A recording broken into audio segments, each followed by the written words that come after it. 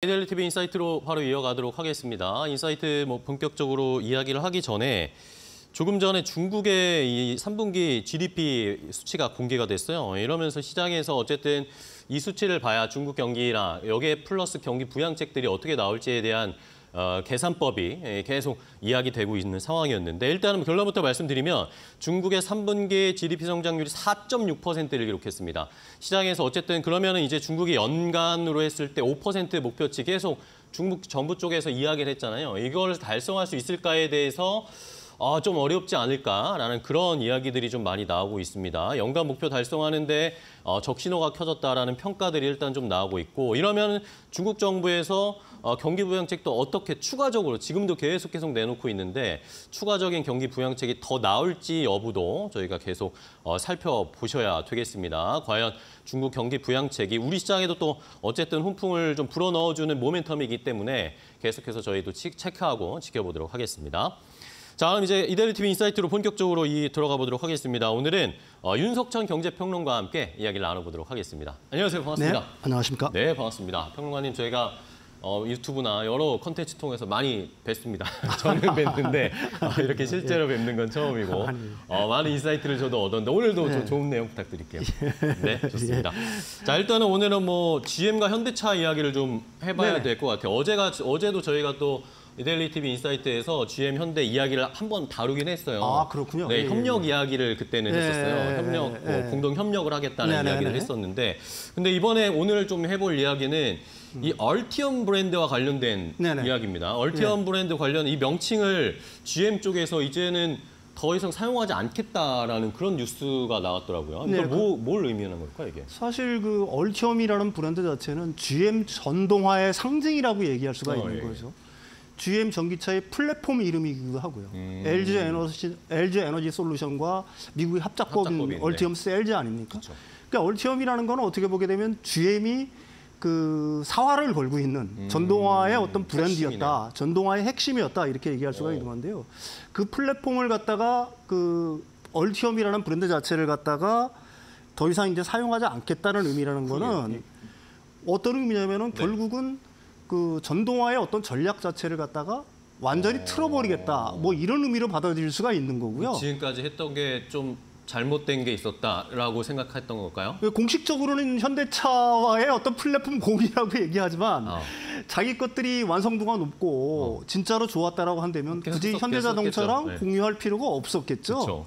근데 이제 자기 것들을 갖다가 어떻게 보게 되면 반포기 선언을 했다는 얘기가 될 수가 어... 있는 건데 그만큼 이제 사실은 그 전기차의 어떤 새로운 플랫폼을 만드는 것 자체가 음. 기존에 이제 내연기관차를 위주로 하던 완성체 업체들이 그 전동화로 나가는 데에는 굉장한 어려움이 있다. 그쵸. 이런 의미로도 네. 받아들일 수가 있을 것 같아요. 그렇습니다. 예, 예, 예. 자 그렇다면은 뭐 말씀해 주신 것처럼 GM이 본인들의 플랫폼이었던 얼티엄을 약간 포기하는 듯한 네네네. 제스처를 보여줬습니다. 네. 그러면 GM은 그러면 앞으로 뭐 아까 살짝 말씀해 주신 그러면 이제 현대차와의 최근에 공동 협력하겠다라는 발표도 나왔던 네네네네. 것처럼 네. 현대차와의 뭔가 어, 이런 밀착이 더 강해진다라고 보는 건가요? 아, 당연히 그럴 수밖에 없는 거죠. 사실 네. 그 기존의 그 내연기관차 완성체 업체들 중에서 전기차 플랫폼을 갖다가 내놓으라는 플랫폼을 가진 업체들이 그렇게 많지는 그렇죠? 않아요. 네. 현대기아차의 EGMP가 대표적인 거고요. 네. 그다음에 이제 폭스바겐이 엠립이라는 플랫폼이 있었고요. 음. 그다음에 GM이 이번에 이제 얼티엄이라는 브랜드 네. 자체가 있었습니다. 그런데 이제 사실 폭스바겐의 그 MDB 자체도 사실은 문제가 좀 많죠. 그런 거야? 그래서 우리나라의 BSA 시스템을 갖다가 수입해서 쓰는 것도 어... 바로 그런 이유가 있는 거고요.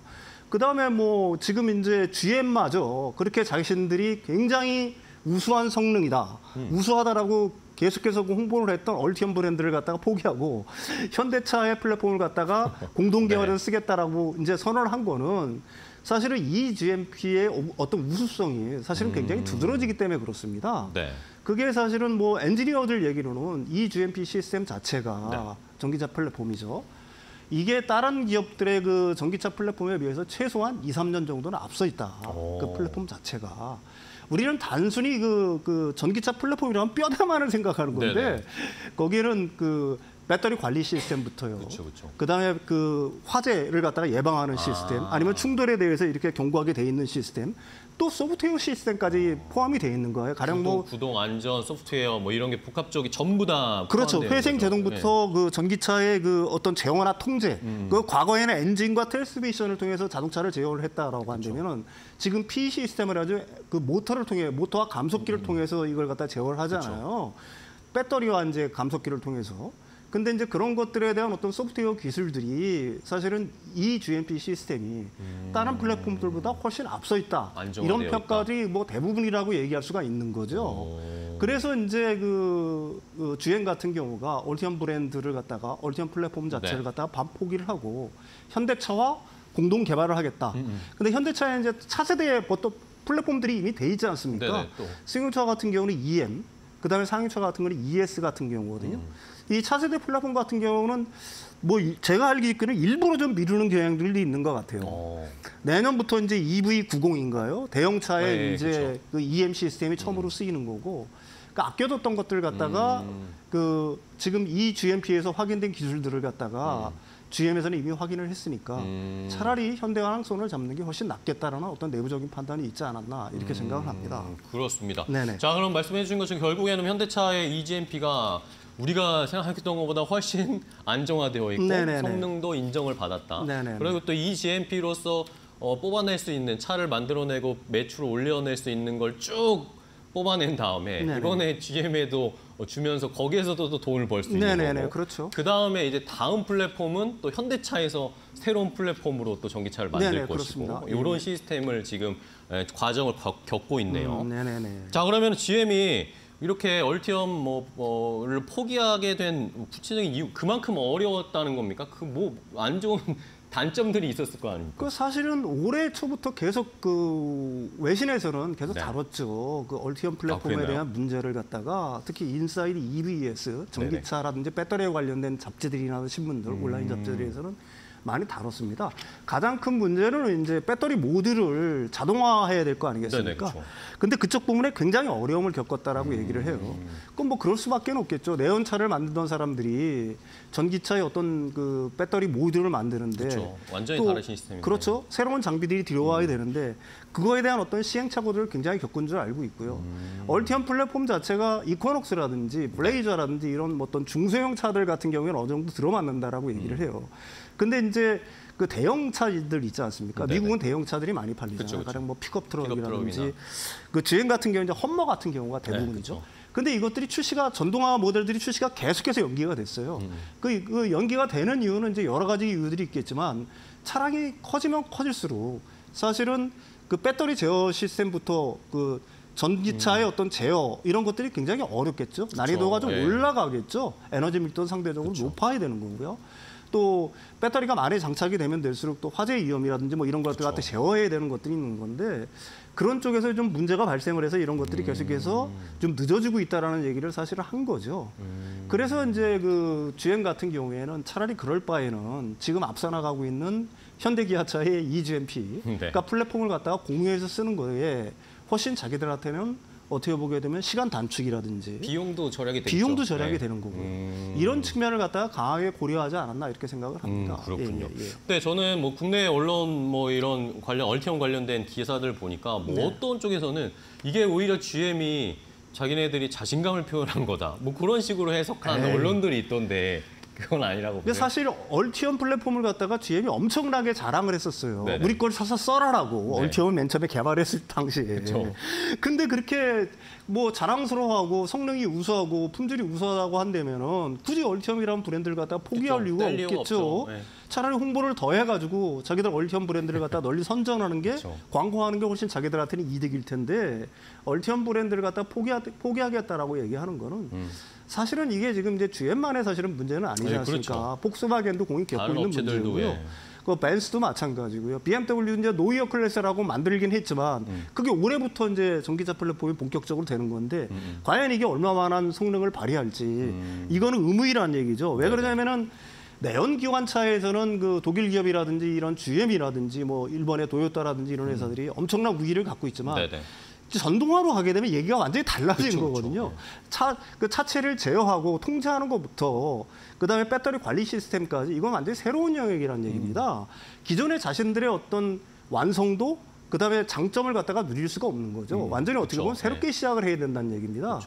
그런 의미에서 사실은 그 대부분의 완성체 업체들이 이런 시행착오를 겪을 수밖에 없는 거고요. 음, 그렇게 본다라고 하게 되면 사실 현대차가 현대 기아차가 얼마나 잘 여기에 대응을 잘하고 하고 있네요. 있나 이걸 갖다가 뭐 생각해 볼 수가 있겠죠. 네, 예. 좋습니다. 네네. 자, 뭐 얘기를 하면 할수록 현대차 기아가 잘 하고 현대차 그룹이 잘 하고 있다라는 네네. 것을 확인할 수 있는 상황이네요. 자, 그렇다면은 이렇게 어쨌든 어, 이 얼티엄 브랜드를 어, 제거한 이 GM의 뭐 어쨌든 뭐 본인들이 잘 안 되고 있다는 걸 시인한 것 같기도 하고요. 네네네.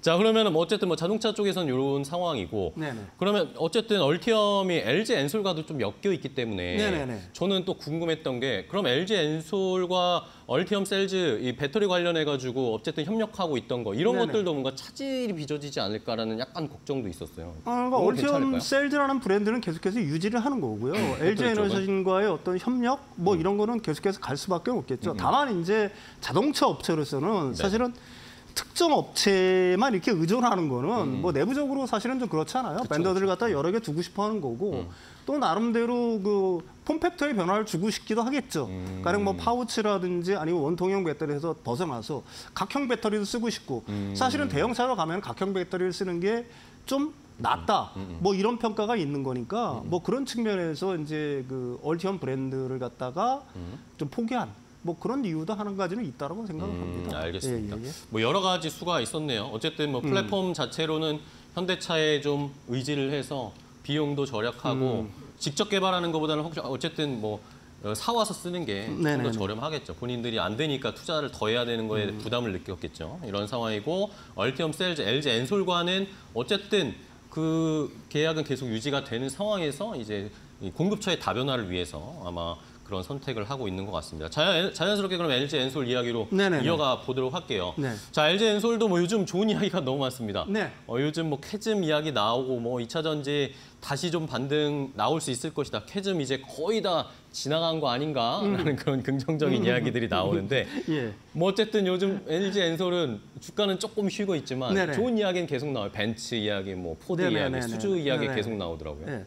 이게 7월 달부터죠. 약 3개월간 수주가 200기가와트 아워 정도 예, 돼요. 그러니까요. 이게 이제 수십조 원 규모인데 사실은 뭐 지난 7월 이후 수주 행진이 계속 이어지고 있는 거죠. 르노아 39기가와트. 음.